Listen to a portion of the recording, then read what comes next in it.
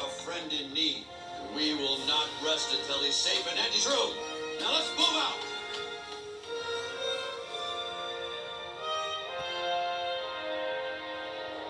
And that concludes our broadcast day.